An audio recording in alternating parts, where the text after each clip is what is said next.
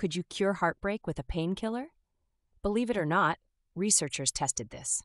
For three weeks, they gave one group a daily dose of acetaminophen, the active ingredient in Tylenol, while another group took a placebo.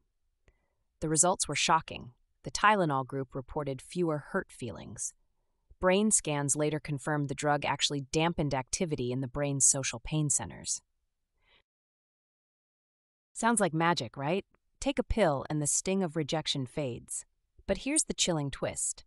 Later studies revealed acetaminophen doesn't just blunt negative emotions, it also dulls positive empathy, the joy you feel for others' happiness.